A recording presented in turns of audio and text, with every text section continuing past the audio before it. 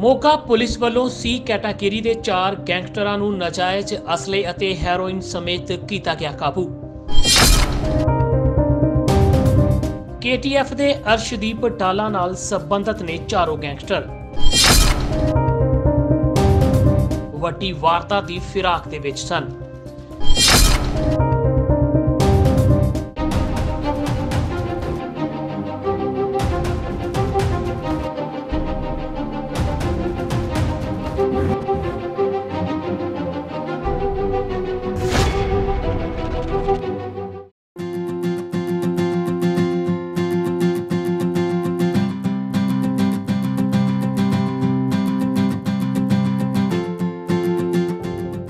ਪੰਜਾਬ ਦੇ ਮੋਗਾ ਸ਼ਹਿਰ ਦੀ ਪੁਲਿਸ ਨੇ ਸੀ ਕੈਟਾਗਰੀ ਦੇ ਚਾਰ ਗੈਂਗਸਟਰਾਂ ਨੂੰ ਗ੍ਰਿਫਤਾਰ ਕਰਨ ਦੇ ਵਿੱਚ ਸਫਲਤਾ ਹਾਸਲ ਕੀਤੀ ਹੈ, ਜਿਨ੍ਹਾਂ ਦੇ ਕੋਲੋਂ ਪੁਲਿਸ ਨੇ ਹਥਿਆਰਾਂ ਦੇ ਨਾਲ-ਨਾਲ ਹੈਰੋਇਨ ਵੀ ਬਰਾਮਦ ਕੀਤੀ ਹੈ।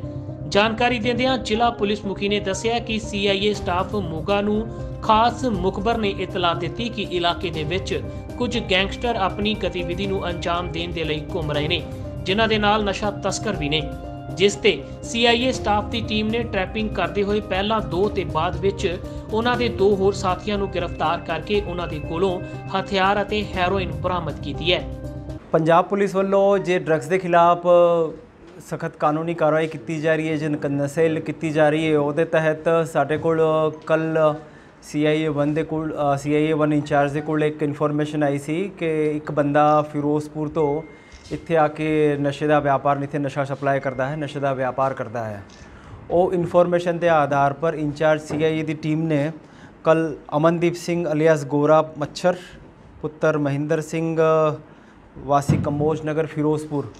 ਉਹਨੂੰ ਬੱਸ ਸਟੈਂਡ ਦੇ ਨੇੜੇ ਤੋਂ ਉਹਨੂੰ ਰਾਉਂਡ ਅਪ ਕੀਤਾ ਸੀਗਾ। ਤੋਂ ਉਹਦੇ ਚੋਂ ਉਹਦੇ ਕੋਲ 300 ਗ੍ਰਾਮ, ਹੈਰੋਇਨ ਬਰਾਮਦ ਹੋਈ ਸੀ। ਉਹਦੀ ਪਰਸਨਲ ਸਰਚ ਦੇ ਵਿੱਚ ਉਹਦੇ ਕੋਲ ਇੱਕ ਸੋਫਿਸਟੀਕੇਟਿਡ ਇੰਪੋਰਟਡ ਵੈਪਨ ਵੀ ਬਰਾਮਦ ਹੋਇਆ ਸੀਗਾ ਤੇ ਉਸ ਇਨਵੈਸਟੀਗੇਸ਼ਨ ਉਹਦੀ ਜੋ ਉਹਦੇ ਜੋ ਬਰਾਮਦਗੀ ਹੋਈ ਸੀ, ਉਹਦੇ ਆਧਾਰ ਪਰ ਅਸੀਂ F I R number 118 216185 NDPS ਨਾਲ ਵਾਦਾ ਜੁਰਮ ਆਰਮਸ ਐਕਟ ਦਾ ਰਜਿਸਟਰ ਕੀਤਾ ਸੀਗਾ। ਉਹ ਅਮਨਦੀਪ ਦੀ ਪੁੱਛਗਿੱਛ ਦੇ ਵਿੱਚ ਆਇਆ ਕਿ ਉਹਦੇ ਖਿਲਾਫ ਆਲਰੇਡੀ ਪਹਿਲਾਂ ਦੇ ਦੋ ਕੇਸਿਸ ਦਰਜ ਨੇ ਤੇ ਹੁਣੇ ਡੇਢ ਇੱਕ ਸਾਲ ਪਹਿਲਾਂ ਉਹ ਇੱਕ ਮਰਡਰ ਕੇਸ ਚੋਂ ਬਾਹਰ ਬਾਹਰ ਆਇਆ ਹੈ। ਸਾਡੀ ਪ੍ਰੀਲਿਮਿਨਰੀ ਇਨਵੈਸਟੀਗੇਸ਼ਨ ਦੇ ਵਿੱਚ ਉਹ ਬੰਦਾ ਨਸ਼ਾ ਕਰਦਾ ਹੈਗਾ ਤੇ ਲੁੱਟਾ ਖੋਆ ਦੀ ਕਈ ਸਾਰੀ ਵਾਰਦਾਤਾਂ ਦੇ ਵਿੱਚ ਇਨਵੋਲਵ ਵੀ ਹੈ। ਜਿਹਦੇ ਵਿੱਚ ਐਫ ਆਈ ਆਰ ਨਹੀਂ ਹੋਈ ਹੈ ਜਾਂ ਕੋਈ ਕੰਪਲੇਂਟਸ ਵਗੈਰਾ ਨਹੀਂ ਹੋਈ ਹੈ। ਬਟ ਸਾਡੇ ਮੁਤਾਬਿਕ ਉਹ ਬੜਾ ਹੀ ਸ਼ਾਤਿਰ ਤੇ ਖਾੜਕੂ ਟਾਈਪ ਦਾ ਬੰਦਾ ਹੈਗਾ ਜੇ ਕੁਝ ਨਾ ਕੁਝ ਵਾਰਦਾਤ ਵਗੈਰਾ ਕਰ ਸਕਦਾ ਹੈ। ਜਦੋਂ ਇਹਨੂੰ ਵੇਪਨ ਦੇ ਬਾਰੇ ਪੁੱਛਿਆ ਗਿਆ ਤਾਂ ਉਹਨੇ ਦੱਸਿਆ ਕਿ ਵੇਪਨ ਇਹਨੇ ਇੱਥੇ ਮੋਗਾ ਦਾ ਹੀ ਇੱਕ ਬੰਦਾ ਹੈਗਾ, ਜਸਵਿੰਦਰ ਸਿੰਘ ਉਰਫ ਜੱਸੂ। ਉਹ ਅਜੀਤਵਾਲ ਦਾ ਰਹਿਣ ਵਾਲਾ ਹੈਗਾ ਕੋਕਰੀ ਕਲਾ ਪਿੰਡ ਦਾ। ਉਹਦੇ ਤੋਂ ਉਹਨੇ ਉਹ ਵੈਪਨ ਲਿਆ ਸੀ। ਉਹਦੀ ਪੁੱਛਗਿੱਛ ਦੇ ਆਧਾਰ ਪਰ ਅਸੀਂ ਇਹਨੂੰ ਜਸ, ਜਸਵਿੰਦਰ ਸਿੰਘ ਨੂੰ ਅਸੀਂ ਡਿਟੇਨ ਕੀਤਾ, ਉਹਨੂੰ ਅਰੈਸਟ ਕੀਤਾ। ਤਾਂ ਉਹਨੇ ਦੱਸਿਆ ਕਿ ਇਹਨੇ ਇਹ ਅਰਸ਼ਦੀਪ ਡਾਲਾ, ਜੋ ਕੈਟਾਗਰੀ ਹੈ ਗੈਂਗਸਟਰ ਹੈ ਤੇ ਹੁਣ ਪਿਛਲੇ ਕਈ ਟਾਈਮ ਤੋਂ ਸਰਗਰਮ ਹੈ, ਕਈ ਸਾਰੀ ਵਾਰਦਾਤਾਂ ਦੇ ਵਿੱਚ ਤੇ ਰਿਕਵਰੀ ਦੇ ਵਿੱਚ ਵੀ ਉਹਦਾ ਨਾਂ ਆਇਆ ਹੈ। ਉਹਦੇ ਨਾਲ ਇਹਨੇ ਫੇਸਬੁੱਕ ਦੇ ਉੱਪਰ ਇਹਦਾ ਕੰਟੈਕਟ ਕੀਤਾ ਸੀ। ਅਰਸ਼ ਨੇ ਇਹਦਾ ਕੰਟੈਕਟ ਕੀਤਾ ਸੀ ਇਨਫੈਕਟ ਤੇ ਉਸ ਤੋਂ ਬਾਅਦ ਇਹਨੇ ਇਹਨੂੰ ਬਹਿਲਾ ਫੁਸਲਾ ਕੇ ਇਹਦੇ ਚੋਂ ਵੱਖਰੀ ਵੱਖਰੀ ਥਾਂ ਸਿਟੀ ਡਿਸਟ੍ਰਿਕਟ ਮੋਗਾ ਦੇ ਆਸ-ਪਾਸ ਦੀ ਕਈ ਥਾਵਾਂ ਤੋਂ ਕਨਸਾਈਨਮੈਂਟ ਜੋ ਦੱਬਿਆ ਹੋਇਆ ਸੀ, ਉਹ ਕਨਸਾਈਨਮੈਂਟ ਕਢਾ ਕੇ ਇਹਨੂੰ ਅਲੱਗ-ਅਲੱਗ ਬੰਦਿਆਂ ਨੂੰ ਦੇਣ ਵਾਸਤੇ ਇਹਨੇ ਕਿਹਾ ਸੀ। ਉਹਦੇ ਚੋਂ ਇੱਕ ਕਨਸਾਈਨਮੈਂਟ ਇਹਨੇ ਬਲਰਾਜ ਸਿੰਘ ਸਨ of ਇਕਬਾਲ ਸਿੰਘ ਔਰ ਅਰੁਣ ਸਾਰਵਾਨ ਪੁੱਤਰ ਰਾਜੇਸ਼ ਸਿੰਘ ਦੋਵੇਂ ਮੋਗਾ ਦੇ ਰਹਿਣ ਵਾਲੇ ਹੈਗੇ।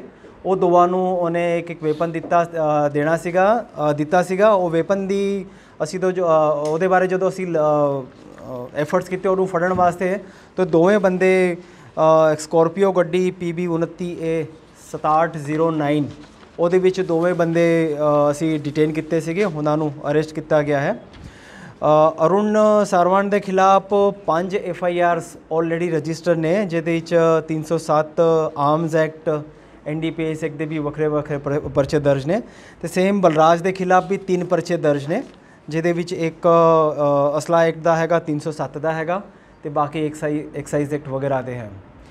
ਇਹਦੇ ਵਿੱਚ ਟੋਟਲ ਅਸੀਂ ਇੱਕ ਗੱਡੀ ਸਕੋਰਪੀਓ ਤਿੰਨ foreign made imported Beretta pistols 6 magazines ਅਤੇ 300 ਗ੍ਰਾਮ ਹੈਰੋਇਨ ਹੁਣ ਤੱਕ ਰਿਕਵਰ ਕੀਤੀ ਹੈ ਤੇ ਅਸੀਂ ਹੋਰ ਵੀ ਇਹਦੀ ਪੁੱਛਗਿੱਛ ਕਰ ਰਹੇ ਹਾਂ। ਸਾਨੂੰ ਉਮੀਦ ਹੈ ਕਿ ਇਹਨੇ ਹੋਰ ਵੀ ਕਨਸਾਈਨਮੈਂਟ ਅਰਸ਼ਦੀਪ ਡਾਲੇ ਨੇ ਭੇਜੇ ਹੈਗੇ।